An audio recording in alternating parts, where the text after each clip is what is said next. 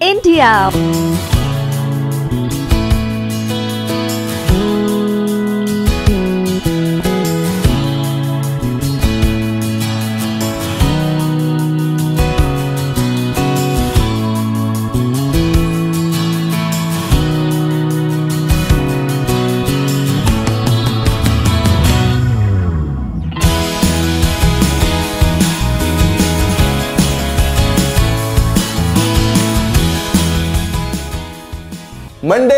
Friday back to back classes live from studio आज ही subscribe करें वाईफाई स्टडी चैनल को। Hello good good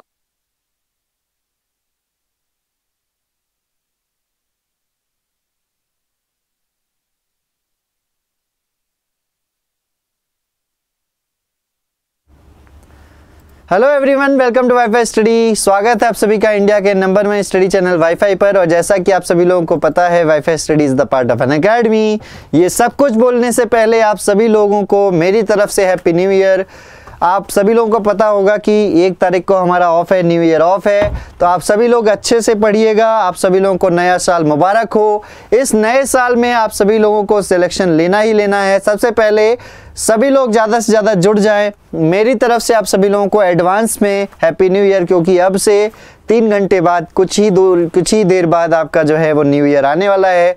सो so, स्वागत कीजिए इस नए साल का अच्छे से स्वागत कीजिए और इस नए साल में इस नए साल में आपको क्या करना है क्या नहीं करना है सबसे पहले उसको पहले ही रेजोल्यूशन की तरह लीजिए कि अब इस नए साल में आप लोग सिलेक्शन लेके रहेंगे। जोश आपका हाई होना चाहिए मेहनत से भरपूर होना चाहिए ये साल क्योंकि हर एक साल जो है वो कुछ ना कुछ सीख दे के जाता है। 2019 आपको क्या सीख दे के गया? कि आपने उसमें क्या क्या गलतियाँ की? अब 2020 में आपको क्या नहीं करना? उसको भी ध्यान दीजिएगा सभी लोग। So may the year 2020 brings a fresh start new aspirant new aspirations and inspiring success work with grace and achieve greater highest heights sorry greater heights okay so I मैं फिर से रिपीट कर देता हूँ। ये साल 2020 का आप सब आप सभी लोगों के लिए एक फ्रेश स्टार्ट लेके आई ये साल आप सभी लोगों के लिए कुछ नए एस्पिरेशंस लेके आए, कुछ इंस्पायरिंग सक्सेसेस लेके आए आप सभी लोगों के लिए। एक ग्रेस के साथ चलिए और अचीव कीजिए, जो भी आपको नई ऊंचाइयाँ आपको हासिल करनी है, उनको हासिल कीजिए आप सभी लोग, ठीक है? तो स्वागत है आप सभी लोगों का। फटाफट से शेयर कर दीजिए इस वीडियो को ज़्यादा से ज़्यादा। आज हमारा है लाइव टेस्ट साल का आखिरी लाइव टेस्ट इसके बाद हम लोग जो है वो नए साल पर क्या क्या करने वाले हैं, वो सारी बातें करेंगे। नए साल में आप सभी लोगों के लिए क्या सरप्राइजेस हैं, सारी बातें करेंगे। So first of all share this video as much as possible ज़्यादा से ज़्यादा शेयर कर दे वीडियो को। ओके तो अब यहाँ पर ये क्वेश्चन स्टार्ट करने से पहले क्वेश्चन स्टार्ट करने से पहले मैं आप सभी लोगों को बता दूँ कि इस नए साल में आप सभी लोगों के लिए क्या क्या खास है। तो सभी लोग देखें यहाँ पर फटाफट से कि इस नए साल में आप सभी लोगों को 6 जनवरी से मैं शेड्यूल बनाने का पूरा पूरा कोशिश कर रहा हूँ। 6 जनवरी 2020 से आप सभी लोगों के लिए मंडे से, आने वाले मंडे से आप सभी लोगों के लिए प्लस क्लासेस का अनाउंसमेंट है अन अकेडमी प्लस पर। अन प्लस पर क्या सब्जेक्ट शुरू होने वाला है एस एस सी जेई 2019 के लिए? अन अकेडमी प्लस पर आपका एस एस सी जेई 2019 के लिए आपका नया सब्जेक्ट शुरू हो रहा है। मैं लिख देता हूँ, नया सब्जेक्ट शुरू हो रहा है। ओके? तो भैया, जो लोग इंतज़ार कर रहे थे ना कि नया सब्जेक्ट जब स्टार्ट होगा तब ज्वाइन करेंगे तो अभी ज्वाइन कर लो। आपको इलेक्ट्रिकल मशीन का एक्सेस भी शायद देखने को मिल जाए। ठीक है? नया सब्जेक्ट शुरू हो रहा है 6 जनवरी 2020 से अन अकेडमी प्लस पर। वो सब्जेक्ट है आपका utilization of electrical energy U double E इसके अलावा इसके अलावा आपका एस्टिमेशन एंड कॉस्टिंग इसके तुरंत बाद होगा। अब मैं आप सभी लोगों को बता दूँ कि यूट्यूब पर क्या खास है। तो यूट्यूब पर खास बताने से पहले एक और बात सुन लीजिए कि 6 जनवरी से ही 6 जनवरी से ही 2020 पीछे 2019 लिख दिया क्या? 2020 ही लिखा है। तो 6 जनवरी 2020 से आपका DMRC DMRC JE as well as maintainer maintainer के लिए आप सभी लोगों का प्लस कोर्स आ रहा है। डीएमआरसी जेई और मेंटेनर के लिए अन अकेडमी प्लस पर कोर्स आ रहा है। तो अन अकेडमी प्लस ज्वाइन करना ना भूलें। अगर आपको ज्वाइन करना है तो फटाफट से आप कॉल कर सकते हैं eight double four, eight double four, double seven, eight zero पर। एसएससी सब्सक्रिप्शन में ही मैं लेके आ रहा हूँ इस डीएमआरसी जेई मेंटेनर की क्लासेस को। ठीक है डीएमआरसी जेई मेंटेनर की क्लासेस को एसएससी सब्सक्रिप्शन के अंदर ही लेके आ रहा हूँ। तो जो लोग पहले से जुड़े हुए हैं, उनको तो बेनिफिट मिलेगा ही मिलेगा। आप लोग भी जुड़ जाएँगे तो आप लोगों को दोनों बेनिफिट मिलेगा। एक तो एसएससी की क्लासेस भी मिलेंगी, इसके अलावा डीएमआरसी जेई मेंटेनर की क्लासेस भी मिलेंगी। Okay so this new year आप सभी लोगों के लिए एक बहुत ही बड़ी सक्सेस आने वाली है, ठीक है? और अगर आप मेहनत करेंगे तो सक्सेस जो है वो आपके कदमों पर, आपके कदमों पर रहेगी, ठीक? तो ज्वाइन ज़रूर कीजिए इन दोनों बैचेस को। यूट्यूब पर क्या खास है? यूट्यूब पर मैं आपको बता देता हूँ कि यूट्यूब पर हम लोग क्या शुरू करने वाले हैं। तो मंडे से मंडे से तो नहीं यूट्यूब पर तो काफ़ी पहले, यानी कि दो जनवरी से ही करना पड़ेगा। तो दो जनवरी से मंडे तो नहीं, दो जनवरी 2020 से, दो जनवरी 2020 से आपका यूट्यूब पर यूट्यूब पर बेसिक इलेक्ट्रॉनिक्स सब्जेक्ट शुरू हो रहा है। Basic electronics which is helpful for basic electronics subject जो है वो शुरू हो रहा है। सब्जेक्ट शुरू हो रहा है। ओके सो 20 दो सॉरी दो जनवरी 2020 से यूट्यूब पर बेसिक इलेक्ट्रॉनिक सब्जेक्ट शुरू हो रहा है। छह जनवरी से D M R C JE और मेंटेनर के लिए अकेडमी प्लस पर सब्सक्रिप्शन आ रहा है। एसएससी के अंदर ही रहेगा। और इसके अलावा छह जनवरी से हमारा एसएससी जेई 2019 के लिए अन अकेडमी प्लस पर नया सब्जेक्ट शुरू हुआ है which is utilization of electrical engineering चलिए। तो अब स्टार्ट करेंगे हम आज की क्लासेस को। बिना वेस्ट किए हुए टाइम शुरू करेंगे पहले सवाल से। पहला सवाल ये रहा the ratio of illumination under actual condition to illumination when everything is perfectly clean is known as बताइएगा इसका आंसर क्या होगा? Illumination under the actual condition to elimination when everything is perfectly clean is known as depreciation factor, utilization factor, reduction factor और space to height ratio. फटाफट से बताएँ इसका answer क्या होगा? ज़्यादा टाइम नहीं है दादा लोग। फटाफट से बताइए इसका आंसर क्या होगा? पढ़ाया हुआ है, नहीं पढ़ाया हुआ, जो लोग नहीं पढ़े हुए इस सवाल से अनजान हैं depreciation factor would be the right answer ये यूटिलाइजेशन में इल्यूमिनेशन का सवाल है, और इल्यूमिनेशन जब मैं आपको पढ़ाया था, तभी मैंने बताया था कि depreciation factor is the ratio of illumination under the actual condition to the illumination when everything is perfectly clean यानी कि क्लीन uh, सरफेस के लिए जो इल्यूमिनेशन होगा उस वो डिनोमिनेटर में होगा. So depreciation factor would be the right answer अगले सवाल पर चलेंगे which of the following motor is often used in mixer तो मिक्स्ड क्वेश्चन की सीरीज़ है ये। मिक्सर में आपकी कौन सी मोटर इस्तेमाल की जाती है? तो यूनिवर्सल मोटर मिक्सर में इस्तेमाल की जाती है। ओके कई बार ये सवाल रिपीट हो चुका है और ये सवाल भी पीजीसीआईएल 2018 में आया हुआ था जेई एग्जामिनेशन में। ये दोनों ही सवाल, ये दोनों ही सवाल आपके पीजीसीआईएल जेई में आए हुए हैं। पीजीसीआईएल जेई में आए हुए हैं। बहुत ही आसान से सवाल हैं पीजीसीआईएल जेई के। देख सकते हैं आप। अगर आपने मेरी मशीन की क्लासेस अटेंड की हैं तो बहुत ही फ़ायदा होने वाला है, दोस्त। मैं आपको बता रहा हूँ, ठीक है? चलिए, आगे। Next find the voltage across B A B तो नहीं दिख रहा होगा अगर तो मैं यहाँ पर मैं रिक्रिएट कर देता हूँ figure this is 12 volt this is 12 volt ये 2 ओम हो गया। ये 2 ओम हो गया।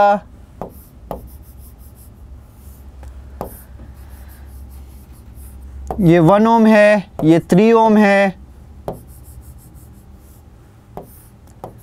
ये आपका वी ए बी है। This is V A B यहाँ बी है, ये ए है। ओके अब फिगर जो है वो दिख रहा होगा आपको। यहाँ पर ये वी ए बी यानी कि इस तरीके से समझो कि ये थेवेनिन वोल्टेज पूछ रहा है। ऐसा समझो कि ये थेवेनिन वोल्टेज पूछ रहा है। ये इस तीनों के अक्रॉस वोल्टेज पूछ रहा है। थेवेनिन वोल्टेज जैसे आप निकालते हैं, वैसे ही निकालिए। क्या करना होगा?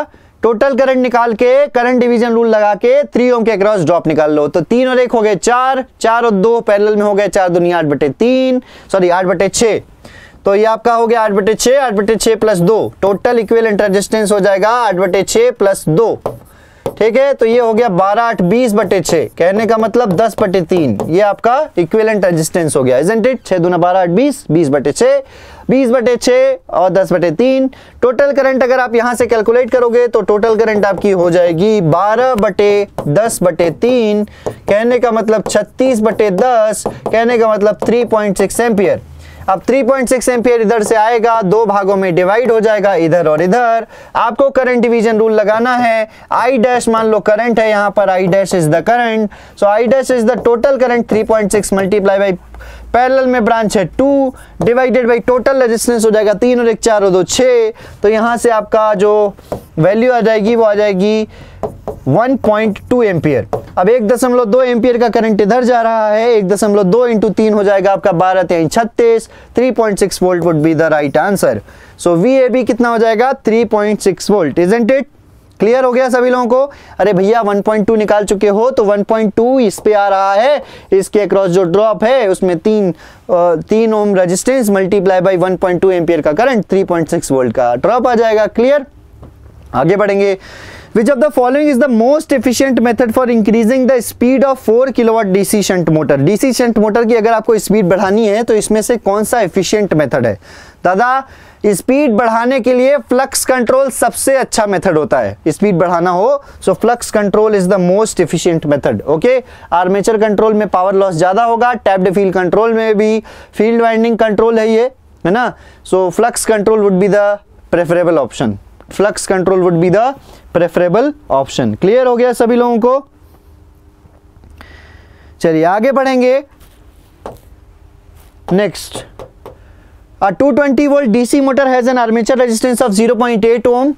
Find the induced EMF when the motor has full load armature current of 40 ampere. Motor है भैया इंड्यूस्ड ईएमएफ का मतलब बैक ईएमएफ बैक ईएमएफ का मतलब टर्मिनल वोल्टेज माइनस में 40 आई ए आर तो आठ चौका हो जाएगा 32 220 माइनस बत्तीस है ना है ना भैया? तो 220 में से 32 घटा दो। 220 में से 32 घटाओगे तो कितना आएगा? 188 वोल्ट आ जाएगा आपका आंसर। 188 वोल्ट आपका आंसर आ जाएगा। Clear 188 volt. अगले सवाल पर चलेंगे। Frequency range of dielectric heating dielectric heating की फ्रीक्वेंसी रेंज सबसे ज़्यादा है। होती है है ना? So this is one megahertz to fifty megahertz would be the right answer करवाया है मैंने। जब मैं हीटिंग पढ़ा रहा था, तभी मैंने करवाया है। आपका नया सब्जेक्ट जो स्टार्ट हो रहा है ना, उसमें पढ़ोगे ये सब। अगर आपने प्रीवियस में आर आरबी जेई की क्लासेस मिस कर दी हैं तो कोई बात नहीं, आप अन अकेडमी प्लस पर हमारा यूटिलाइजेशन का बैच ज्वाइन कीजिए। इसके अलावा आगे आने वाले सारे सब्जेक्ट्स आपको देखने को मिलेंगे। तो लंबा सब्सक्रिप्शन ज्वाइन करना ताकि आपको बेनिफिट हो। यूटिलाइजेशन के बाद एस्टिमेशन एस्टिमेशन के बाद आपका रहेगा मेज़रमेंट मेज़रमेंट के बाद आपका रहेगा बेसिक इलेक्ट्रिकल बेसिक इलेक्ट्रिकल के बाद हमारा अगर समय रहा तो पावर सिस्टम क्योंकि पावर सिस्टम मैंने यूट्यूब पर ऑलरेडी बहुत अच्छे से करा रखा है। Clear which type of material is used for variable reluctance stepper motor कौन से टाइप का मटेरियल यूज़ करते हैं जब हम वेरिएबल रिलक्टेंस स्टेपर मोटर बनाते हैं? तो फेरो मैग्नेटिक मटेरियल इस्तेमाल करते हैं। Ferromagnetic material is used when we when we make the variable reluctance stepper motor. Clear हो गया सभी लोगों को? आगे बढ़ेंगे अगले सवाल पर।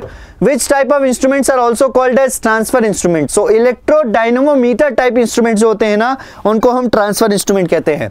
ट्रांसफ़र इंस्ट्रूमेंट वो इंस्ट्रूमेंट होते हैं जिनको हम बिना कैलिब्रेशन के एसी पर अगर हम इस्तेमाल कर रहे हैं तो डीसी पर यूज़ कर सकते हैं विदाउट कैलिब्रेशन विदाउट कैलिब्रेशन हम उसको डीसी पे इस्तेमाल कर सकते हैं। इलेक्ट्रो डायनोमोमीटर टाइप इंस्ट्रूमेंट्स कहलाते हैं आपके transfer instrument so C answer would be the right answer अगले सवाल पर चलेंगे। If the transmission voltage of a line increases अगर ट्रांसमिशन वोल्टेज बढ़ा दिया जाए तो volume of the conductor material क्या होगा? So volume of the conductor material decrease हो जाएगा। ये तो मैंने कई बार बताया है। So decreases would be the right answer increase तो होगा नहीं। ना ही इंक्रीज होगा without loss does not change the answer नहीं होगा। Decreases would be the right answer देखा होगा आप सभी लोगों ने, जितना ज़्यादा वोल्टेज उतना ही पतला कंडक्टर जितना ह्यूज वोल्टेज उतना ही पतला कंडक्टर कंडक्टर का साइज़ जो है वो घटते चला जाता है। इसीलिए आपको पता होगा कि आई स्क्वायर आर लॉसेस जो होते हैं, वो आपके कम होते चले जाते हैं, है ना?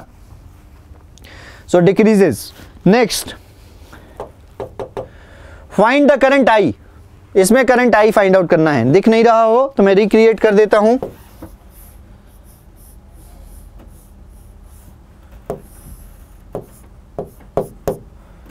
यूज़ वोल्टेज में कम करंट होगा ना तो एज कंपेयर टू मैं बोल रहा था भाई, ये 10 वोल्ट हो जाएगा।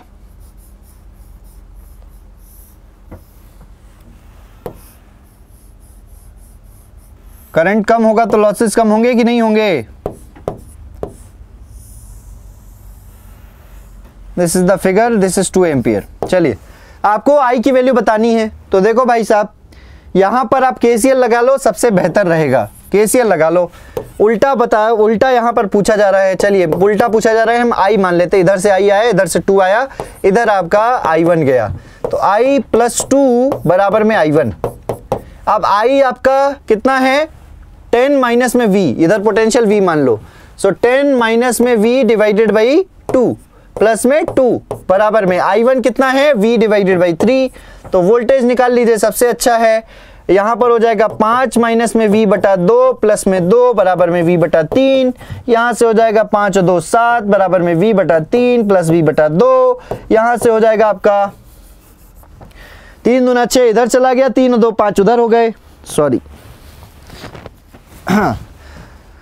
तो यहाँ पर हो गया भैया सात सात तीन दूना छः, सात छंग बयालीस बराबर में पाँच वी वी बराबर हो जाएगा बयालीस बटे पाँच।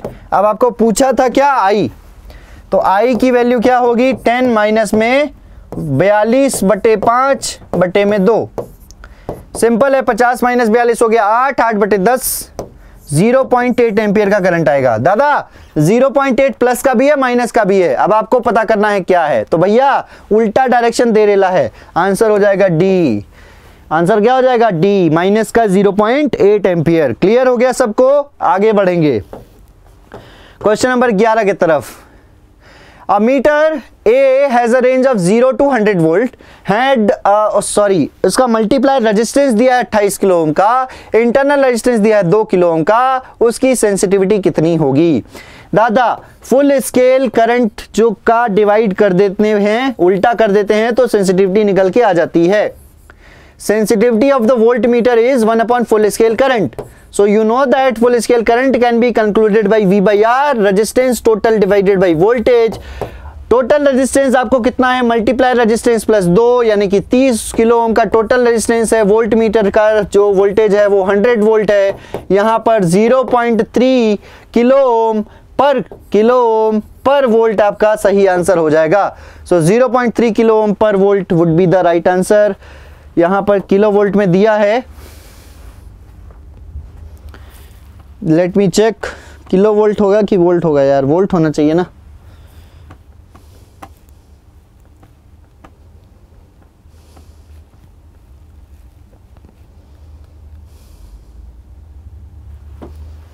ये किलो ओम पर वोल्ट है, ये किलो वोल्ट नहीं है। So this is kilo ohm per volt.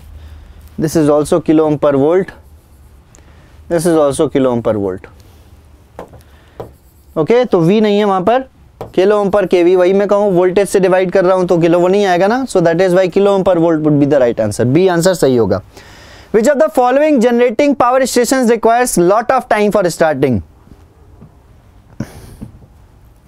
देखो भाई, जो जनरेटर सबसे ज़्यादा टाइम लेता है, वो जनरेटर है steam power station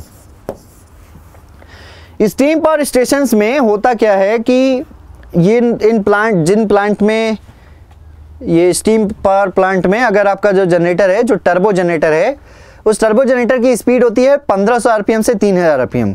यहाँ पर उस स्पीड तक ले जाने में तकरीबन 17 से 18 घंटे का समय लगता है, क्योंकि ह्यूज मास ह्यूज इनर्शिया बहुत ज़्यादा बड़ा जनरेटर होता है। ठीक है? हाँ मुझे पता है कि हाइड्रो जनरेटर से आपका कम छोटा होता है हाइड्रो जनरेटर से छोटा होता है, लेकिन फिर भी इतना छोटा भी नहीं होता कि हाथ से पकड़ के घुमा दो। समझ रहे हो? इसीलिए स्टीम पावर प्लांट्स में जनरेटर्स को कभी भी स्विच ऑफ़ नहीं किया जाता, यानी कि बंद नहीं किया जाता, यानी कि रोका नहीं जाता। उन जनरेटर्स को रोका नहीं जाता। अगर कोई फॉल्ट आ भी जाए, वो अगर कोई फॉल्ट आ भी जाए इन दैट केस ऑल्सो उसका रोटर चलने दिया जाता है। क्योंकि अगर वो रोटर एक बार रुक गया तो रोटर तो एक तो रुकने में समय लेगा, फिर उसके बाद, रुकने के बाद जब उसको दोबारा स्टार्ट करना होगा 1500 आरपीएम से 3000 आरपीएम पहुंचाना होगा, दो पोल या चार पोल की मशीन होगी, उस केस में उसको दोबारा स्पीड तक पहुँचाने में 17 से 18 घंटे का समय लगता है, ठीक है? So requires lot of time for starting that is steam power station अगले सवाल पर चलेंगे। क्वेश्चन नंबर तेरह. Tariff is defined as the rate at which बताइए. टैरिफ इज़ डिफाइंड टैरिफ को कैसे डिफाइन करते हैं? तो टैरिफ को डिफाइन करते हैं कि टैरिफ वह रेट है जिस पर एनर्जी जो है energy is supplied to a consumer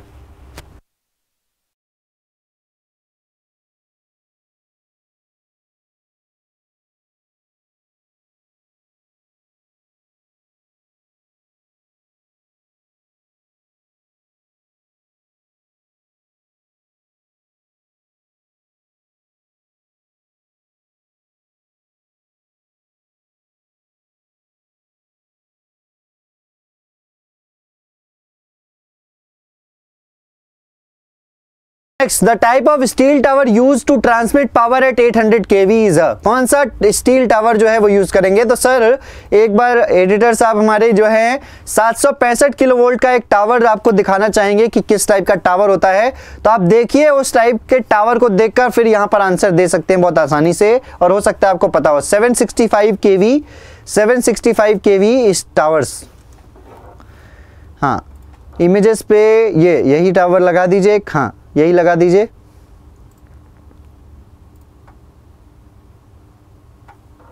Just give me a second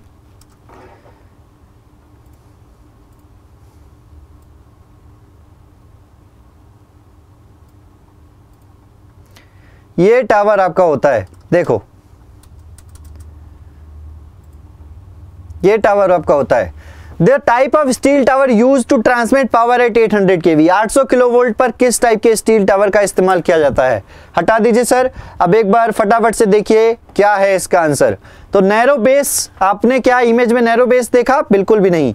आपने ब्रॉड बेस देखा है, लेकिन ब्रॉड इतना ब्रॉड बेस नहीं होता। यहाँ पर आंसर होगा H structure so preferable answer जो हो जाएगा वो ए आंसर हो जाएगा। Guide H structure okay so answer would be A clear अगले सवाल पर चलेंगे हम लोग, क्वेश्चन नंबर पंद्रह। पीएसएम क्या रेशियो होता है भैया? पीएसएम किसका रेशियो होता है? प्लग सेटिंग मल्टीप्लायर तो प्लग सेटिंग मल्टीप्लायर होता है fault current to the pickup current so answer would be D fault current in the relay to the pickup current D answer would be the right answer और field test is performed on which type of DC motor किस पर field test perform करते हैं भाई? बताओ। किस पर field test perform करते हैं?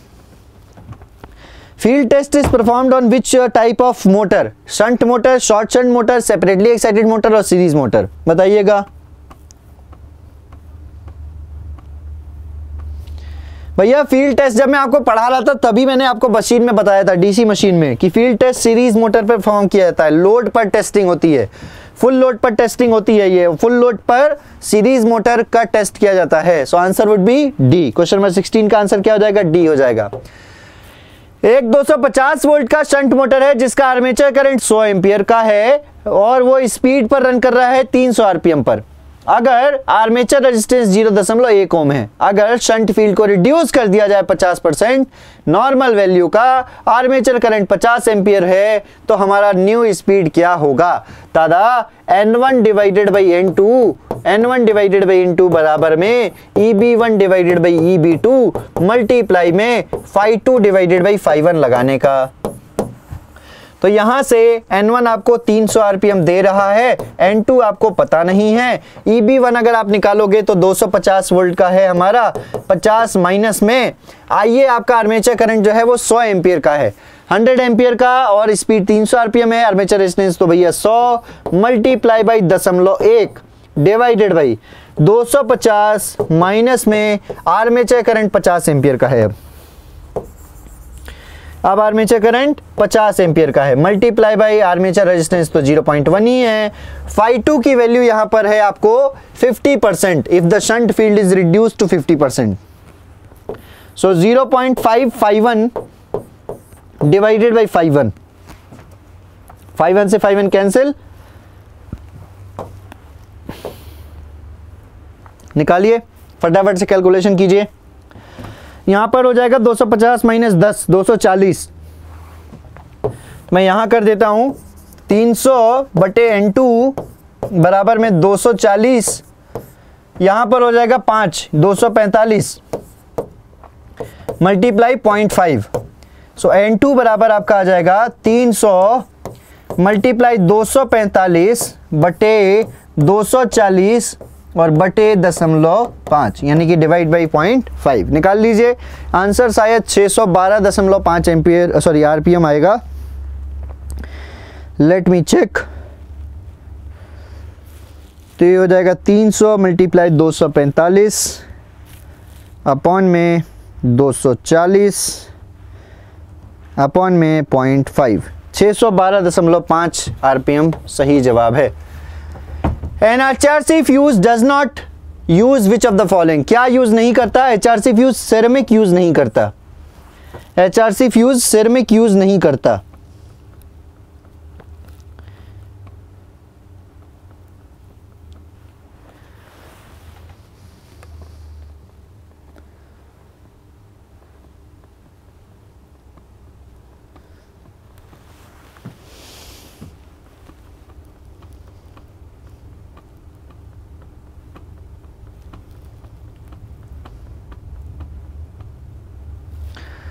N H R C fuse does not use which of the following silver zinc lead lead तो इस्तेमाल करता है सिरेमिक यूज़ नहीं करता ना? Ceramic is not use by H R C fuse बताइएगा, जो एच आर सी फ्यूज मैंने कराए हैं आपको, क्या उसमें सिरेमिक था? मटेरियल में एच आर सी फ्यूज मैंने आपको पढ़ाया है ना? सिरेमिक नहीं था।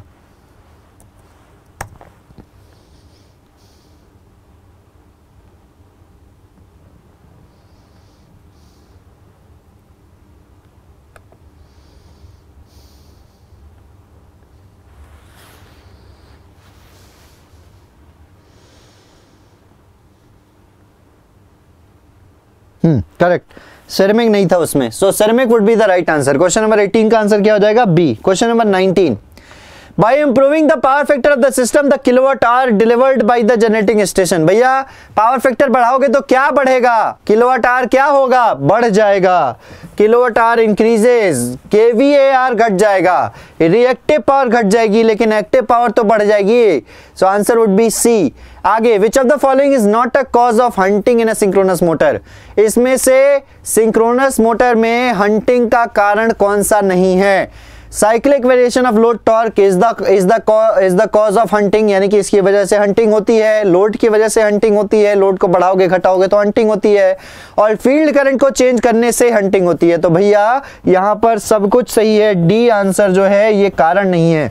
सप्लाई फ्रीक्वेंसी को बढ़ाने या घटाने से हंटिंग पर कोई प्रभाव नहीं पड़ता।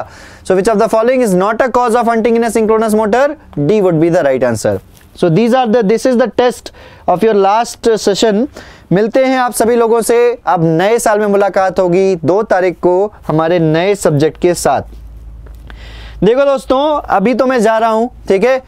बीस क्वेश्चन का टेस्ट था आपका ट्वेंटी क्वेश्चन ओके अभी तो मैं जा रहा हूँ, लेकिन आपको पता है कि नए साल में 2020 में मिलेंगे अब हम लोग, अगले साल, एक साल बाद मिलेंगे अब हम लोग।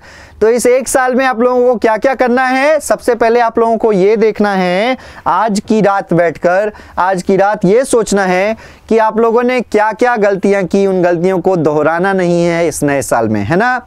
इस नए साल में मोटिवेटेड रहना है हमेशा, इस नए साल में हम लोगों को और मेहनत करनी है, और इस नए साल में जो भी गलतियाँ हम लोगों ने पिछले साल की थी, इस नए साल में वो बिल्कुल भी नहीं दोहरानी है ना? जैसे पढ़ने में क्या क्या मिस्टेक्स की, कहाँ पर हम लोगों से एक नंबर से चूक हो गई, कहाँ पर हम लोगों से दस नंबर से चूक हो गई। हम लोगों ने कौन से सब्जेक्ट्स नहीं पढ़े, उन सब्जेक्ट्स के लिए हम क्या करें? देखो भाई, मैं आप सभी लोगों के लिए ना कुछ ना कुछ नया करते ही रहता हूँ। जैसे कि मैंने आपको बताया था कि अन प्लस पर इलेक्ट्रिकल मशीन चालू हो रहा है। बहुत सारे बच्चों ने सपोर्ट किया ज्वाइन किया। उनका बहुत बहुत धन्यवाद। लेकिन आप सभी लोगों को पता होना चाहिए कि अन अकेडमी प्लस पर जब मैं मशीन पढ़ा रहा था तो मैंने यहाँ पर पावर सिस्टम साथ के साथ खत्म कर दिया आपका।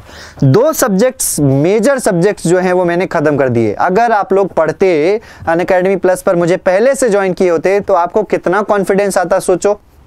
अन अकेडमी प्लस पर पावर सिस्टम अभी जो है, वो लास्ट में कराऊँगा, क्योंकि मैंने यूट्यूब पर ऑलरेडी करा दिया। ऑल दो आई हैव अ कंटेंट मेरे पास भले ही कंटेंट क्यों ना हो, लेकिन है क्या कि बहुत सारी क्लासेस के चलते मुझे अभी डीएमआरसी जेई मेंटेनर के बारे में भी सोचना है। बहुत सारे स्टूडेंट्स मेरे से रिक्वेस्ट कर रहे हैं। अभी मुझे हो सकता है आने वाले दिनों में राजस्थान जेई की वैकेंसी आ जाए तो उसके लिए भी सोचना है। तो मुझे समय जो है जो है ना, मुझे वो बचा कर रखना है ताकि मैं उस समय का यूटिलाइज कर सकूँ। इसीलिए मैंने अन अकेडमी प्लस पर आप सभी लोगों से बोला है कि मैं यूटिलाइजेशन शुरू करूँगा। सोचो कि अब आप एक एसएससी के सब्सक्रिप्शन से, आप एक एसएससी के सब्सक्रिप्शन से आपको डीएमआरसी जेई मेंटेनर की क्लास मिलेगी। आपको यूटिलाइजेशन ऑफ़ इलेक्ट्रिकल एनर्जी ज़्यादा बड़ा सब्जेक्ट नहीं है, मुश्किल से दस दिन। उसके बाद एस्टिमेशन एंड कॉस्टिंग मुश्किल से पाँच दिन सो दस, पाँच, पंद्रह दिनों में आपका ये दोनों सब्जेक्ट खत्म हो जाएँगे। उसके बाद आपको एक ही सब्सक्रिप्शन में एसएससी के सब्सक्रिप्शन में ही आपको नया सब्जेक्ट जो कि होगा हमारा मेज़रमेंट वो भी देखने को मिलेगा। उसके बाद बेसिक इलेक्ट्रिकल वो भी देखने को मिलेगा। यहाँ पर आपका बेसिक इलेक्ट्रॉनिक शुरू कर रहा हूँ। तो साथ के साथ पैरेलल में जब हम इन छह सब्जेक्ट्स को पढ़ रहे होते हैं अलग अलग जगह तो सोचो कि कितना जल्दी सिलेबस खत्म हो जाता है। इसलिए मैं आप सभी लोगों के लिए बार बार बोलते रहता हूँ कि क्लासेस दोनों जगह अटेंड कीजिए और दोनों जगह बेनिफिट उठाइए। यहाँ पर नए साल से शुरुआत करना चाह रहा था और प्रीवियस आपका टेस्ट भी करना चाह रहा था कि आप लोगों ने कितना पढ़ा, कितनी मेहनत की, क्या कर रहे हो आप लोग। तो ये आपकी मेहनत का नतीजा है कि आप लोग पिछले चार पाँच दिनों का जो टेस्ट हुआ है वो निकाल लीजिए, ओवरऑल मार्क्स निकाल लीजिए, आपको पता चल जाएगा कि आपकी मेहनत क्या है, कहाँ पर लाई करती है। ठीक है? और आपको अगले साल में क्या क्या करना है? इस नए साल में अब आप लोगों को क्या कर क्या क्या करना है? अपने माँ बाप को खुश रखिए और अपने माँ बाप को खुश रखने का सिर्फ़ एक ही रीज़न है। अगर आप लोग तैयारी कर रहे हैं तो आपका सिलेक्शन ही उनको बहुत ज़्यादा खुशी देगा।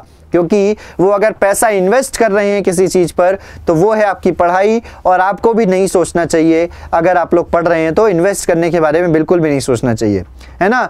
बिज़नेस में एक चीज़ सुनी होगी आप सभी लोगों ने हायर द रिस्क और हायर द अचीवमेंट यानी कि जितना ज़्यादा रिस्क उठाओगे सक्सेस के चांसेस उतने ही ज़्यादा हैं अचीवमेंट के चांस अचीवमेंट के चांसेस जो हैं वो उतने ही ज़्यादा हैं। है कि नहीं? तो इसीलिए रिस्क उठाइए। रिस्क उठाना कभी भी आप लोगों को सोचना नहीं चाहिए रिस्क उठाने के लिए, है कि नहीं? तो जो है वो हमेशा higher the risk higher the success इसका फॉर्मूला अपनाइए। और कभी भी ना, कहीं पर भी यार, देखो जब कोई अच्छा काम करना हो ना तो कभी भी सोचना नहीं चाहिए। कभी भी इन्वेस्ट करने के बारे में नहीं सोचना चाहिए। आपके लिए डीएमआरसी जेई मेंटेनर के लिए आई टी आई के बहुत सारे स्टूडेंट जो भी आपके दोस्त हैं, उनको शेयर करिएगा ज़रूर, उनको बताइएगा ज़रूर। क्योंकि डीएमआरसी के फॉर्म अभी भरे जा रहे हैं और डीएमआरसी में आप लोगों के पास बहुत अच्छी अपॉर्चुनिटी है। आने वाले दिनों में आप सभी लोगों को दिख रहा होगा कितनी अपॉर्चुनिटीज़ हैं। तो ये देख सकते हो आपके सामने। डिप्लोमा वाले भी हैं यहाँ पर बीटेक वाले भी है। कोल इंडिया लिमिटेड बीटेक भर सकते हैं डीएमआरसी डिप्लोमा भर सकते हैं एलएमआरसी डिप्लोमा बीटेक दोनों भर सकते हैं जीएमआरसी बीटेक भर सकते हैं पीजीसीएल डिप्लोमा बीटेक दोनों भर सकते हैं। इसके अलावा हमारा एक और एसएससी जेई तो है ही। एस एस सी जेई 2019 और इसके अलावा 2020 का भी कैलेंडर आ चुका है। तो 2019 और 2020 ये दोनों तो है ही हमारा। तो सोचो कि कितनी सारी अपॉर्चुनिटीज़ है इतनी सारी अपॉर्चुनिटीज़ हैं आने वाले दिनों में। तो इनको मिस क्यों करना? इनको बिल्कुल भी मस, मत मिस करो। पढ़ते रहो एक एक सब्जेक्ट को लगातार खत्म करते रहो। बहुत सारे बच्चों ने ना एक एक महीने का सब्सक्रिप्शन ज्वाइन कर रखा है।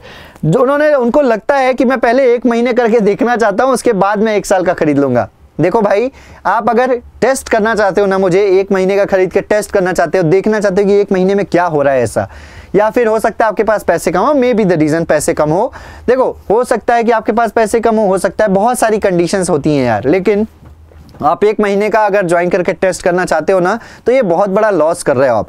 अगर आप देखो यहाँ पर तो आपका ये सब्सक्रिप्शन जो कि मैं आपको बता रहा हूँ, अगर आप वन ईयर का परचेज करते हैं तो एक साल का आज हमारा जनवरी शुरू हो गया, फरवरी 2021 में आपका एग्जामिनेशन है। एक साल का सब्सक्रिप्शन चौवन सौ रुपए का है। एसएससी के बारे में बता रहा हूँ मैं। एक साल का सब्सक्रिप्शन चौवन सौ रुपए का है। इसके अलावा, अगर आप गेट का सब्सक्रिप्शन साथ में ज्वाइन करते हो तो आप कोल इंडिया लिमिटेड के लिए भी एलिजिबल हो। यानी कि कोल इंडिया लिमिटेड में आप कंट्रोल सिस्टम जो आता है, उसको एक्सेस कर सकते हो।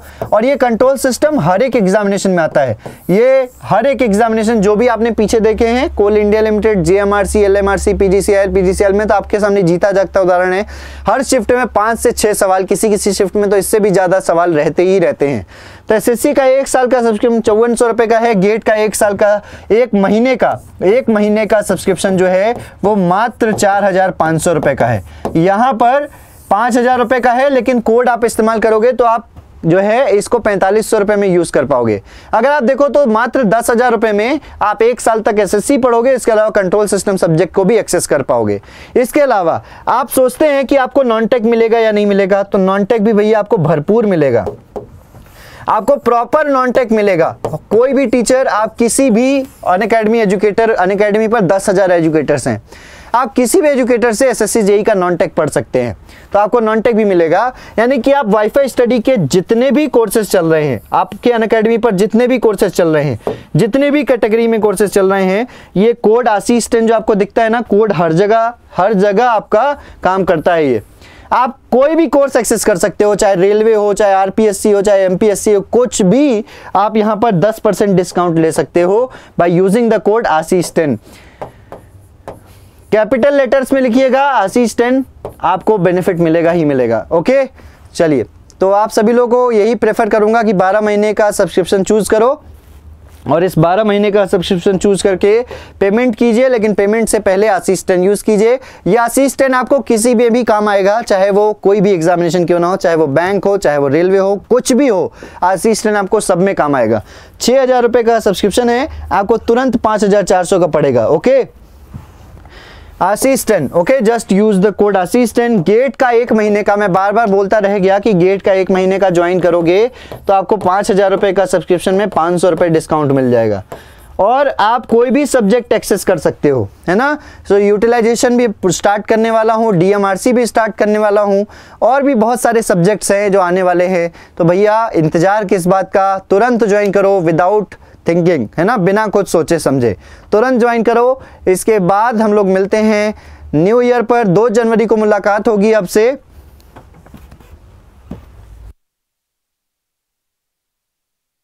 तब तक के लिए इसी तरीके से हँसते रहिए, मुस्कुराते रहिए। मिलते हैं आप सभी लोगों से। एक बार फिर से मेरी तरफ़ से जो लोग नए जुड़े हैं, उनको हैप्पी न्यू ईयर और मिलते हैं आप सभी लोगों से अब। दो जनवरी को मुलाकात होगी। हँसते रहिए, मुस्कुराते रहिए। खूब एंजॉय कीजिएगा। ये न्यू ईयर नाइट जो है, वो खूब एंजॉय कीजिए। इकतीस दिसंबर की रात। एक जनवरी को भी खूब एंजॉय कीजिए, लेकिन दो जनवरी से आपको पढ़ाई के लिए बैठ जाना है, ओके? और दो जनवरी से पढ़ते रहना है, पढ़ते रहना है, जब तक कि आपका मन न थक जाए कि नहीं यार, अब बस। तो अपने मन को थकने मत दो। कभी भी मन थकना नहीं चाहिए, ठीक है? सो पढ़ते रहिए। और खूब पढ़िएगा, खूब मेहनत कीजिएगा। और मेरी तो मेरी तो यही विशेष है यार कि आप सिलेक्शन ले लें ओके आप इस साल 2020 में सिलेक्शन ले लें, मेरी तरफ़ से तो यही विशेष है आपको। बाकी आपका लक और आपकी पढ़ाई और आपकी मेहनत ही आपको सिलेक्शन दिलवा के रहेगी। चलिए सो टेक केयर ध्यान रखिएगा अपना and please do like and share this video as much as possible ज़्यादा से ज़्यादा लाइक और शेयर कर दीजिएगा। Bye bye good night take care